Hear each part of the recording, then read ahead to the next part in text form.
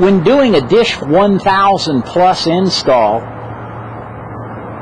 and if you're going through a DP44 switch, it's important to remember that the Super Buddy cannot provide enough current to power the switch and all four LNBs. For that reason, I recommend that you remove the 110 LNB connection to the switch, and then after doing so, using the meter, you can go to LNB1, which provides port 1 or the 119 LNB. You can go to LNB3, which corresponds to the 129 LNB, and then you can go to LNB4, which corresponds to the 118.7. Once you've completed your measurement taking through the DP44, don't forget to reconnect the 110 LNB back to your port 2.